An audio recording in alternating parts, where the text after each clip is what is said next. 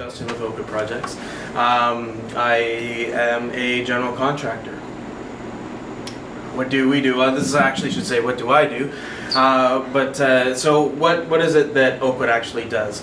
Um, I do site management. I take care of uh, the money management of my clients. Um, it's probably the number one thing that that contractors don't really realize is how involved it is to actually take care of the client's money, and it's it's something that loses a lot of respect very quickly if they don't do it properly, uh, as well as trade management. I, I deal with uh, a lot of trades every day, um, and if I'm running multiple jobs, it just ends up being a lot of trades uh, that I manage at any given time.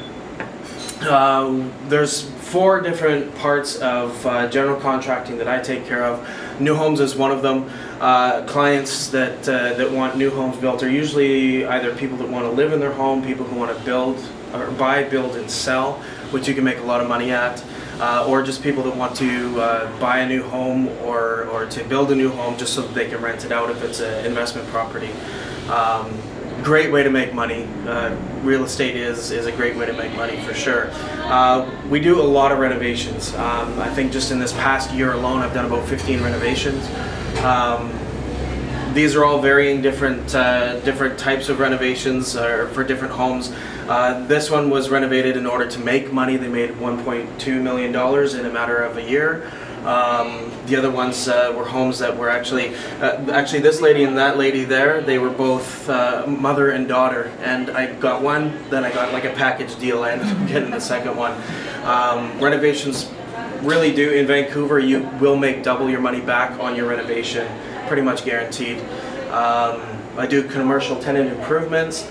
Um, this was a bakery. I've done optometrists, bakeries, a bar, um, all sorts of different things. And I'm looking to actually get into more uh, commercial renovations. That's probably where I would like to focus. Uh, sort of that avenue and the next one which is envelope work it's it's said that over the next five years there's going to be 4,000 condominium buildings that will need leaky condo remediation done to them um, so when in terms of looking into realty, real estate, insurance, and all sorts of things, there's going to be a lot of money spent on fixing these things up. Uh, this is one building that I managed to, to completion. It was about a $2 million job, all the windows, uh, siding, everything uh, involved in that. So what does it mean to refer me and how does that uh, help you guys out? Uh, in terms of money, um, there's a lot of money that can be paid back into the network. Uh, I pay 10% of my profit back into the network, and my profit is valued at about 10% on the retail value. So if it's just a small renovation at $50,000, $5,000 is what my profit would be on average, which means it's $500 back to the network, and it just grows from there. You can see right down at the bottom. If it's a million dollar home that I'm going to build, you know, then it's $10,000 back into the network. Your average 2,500 square foot house is going to be about $650,000 to build, which means it's $6,500 back into the network. Any questions? How small is too small? No, no size is too small.